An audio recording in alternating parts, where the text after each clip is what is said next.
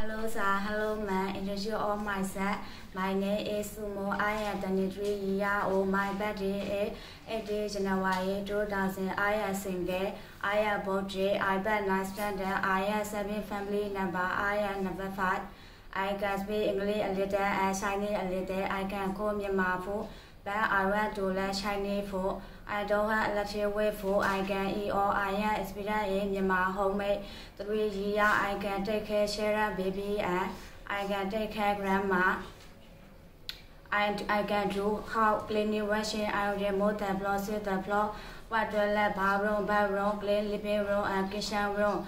I I want to I want to I went to work Singapore because I want to support my family.